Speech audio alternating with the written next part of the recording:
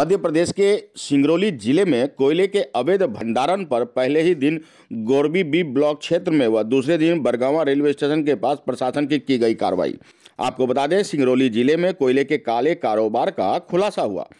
NCL के Gorbi B block में transporter ने 10 करोड़ मूल्य के इकतालीस टन कोयला अवैध रूप से एकत्रित कर रखा था, जिनके पास खरीदी से लेकर भंडारण तक के किसी भी तरह के दस्तावेज़ नहीं मिले हैं। वहीं आपको बता दें कि प्रशासन ने आठ ट्रांसपोर्टरों के खिलाफ प्रकरण दर्ज कर कोयला जब्त कर लिया है। सिंगरौली माइनिंग अधिकारी ए के राय ने बताया कि कोयला खनन क्षेत्र में बड़ी मात्रा में कोयला भंडारित किया जाने की सूचना मिली थी, जिसकी किसी भी प्रकार के कोई दस्तावेज़ भंडारणकर्ता और ट्रांसपोर्टरों के पास नहीं थे। अवैध तरीके से कोयले की निकासी कर उसे बिना किसी वैध दस्तावेज़ के भंडारित कर रखा गया था। कलेक्टर ने एसडीएम चित्रंगी नीलेश शर्मा के नेतृत्व में टीम गठित कर छापामार कार्रवाई की। सर बीते दो दिनों से अवैध कोयला भंडारण को लेकर बड़ी कार्रवाई की गई है।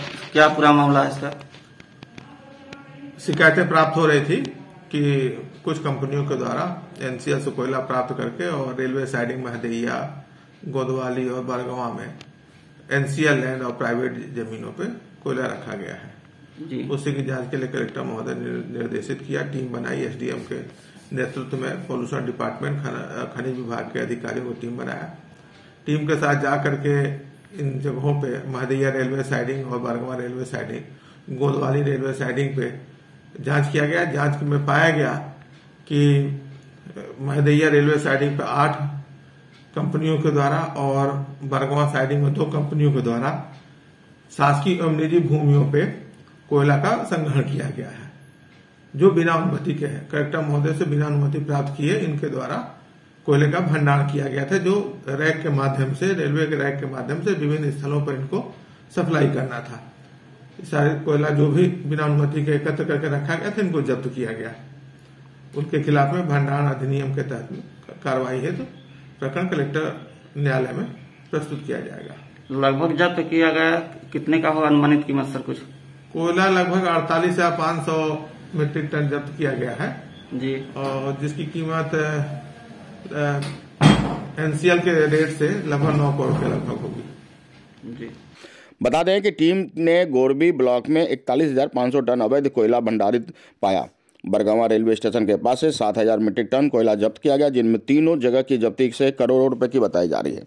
गैलेंट इस्पात लिमिटेड का चार हज़ार टन संगीता सेल्स का चार हज़ार टन, महावीर कोल रिसोर्सेज का पैंतीस सौ टन, इनोरसेट ट्रेडर्स लिमिटेड का पैंतीस सौ, और इसके साथ ही कोल हब का 1500 ton, fuel Coal India Limited का 6000 टन, व स्वामी फ्यूल का 4000 टन कोयला अवैध पाया गया है। छापामार कार्रवाई के दौरान ट्रांसपोर्ट कंपनियाँ कोई वैध दस्तावेज़ नहीं दिखा सकी। इसलिए एसडीएम ने सभी कुल इकतालीस टन कोयला जब्त कर लिया है। इस मामले में ट्रांसपोर्ट कंपनियों के संचालकों के विरुद्ध खनन, परिवहन व भंडारण नियम के तहत मामला दर्ज किया गया है। बता दें कि बरगावा रेलवे साइडिंग के बाहर भी दो कंपनियों के सात हज़ार मीट्रिक टन बिना अनुमति भंडारित कोयला मिला है। माइनिंग अधिकारी के मुताबिक कोयला भंडारण के लिए कंपनियों को ओर से वैधानिक अनुमति नहीं ली गई थी और इन सभी कोयला को जब्त कर आगे की कार्रवाई की जा रही है। बता दें, जिला कलेक्टर न्यायालय में से प्रस्तुत कर दिया गया है। अब देखना होगा कि आखिर किस तरह अवैध खनन और भंडारण का यह कारोबार फल फूल रहा था और इस पर क्या कुछ आगे प्रशासनिक कार्रवाई सामने आती है। मध्य प्रदेश के सिंगरौली से साउद खान की रिपोर्ट। में है। इसलिए फिर से आप इसे सब्सक्राइब ज़रूर करें। खबर देखने से पहले सब्सक्राइब बटन ज़रूर दबा दें। आपसे अनुरोध है यह।